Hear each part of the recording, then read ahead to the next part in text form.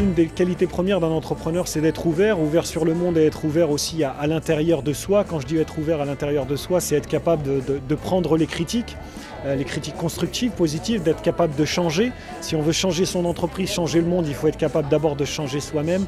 Et euh, ce que j'ai d'abord conseillé à tous ces, ces entrepreneurs, c'est d'être capable d'utiliser les coachs et les parrains qui vont être mis à disposition par le réseau quartier pour pouvoir les aider et surtout de les écouter.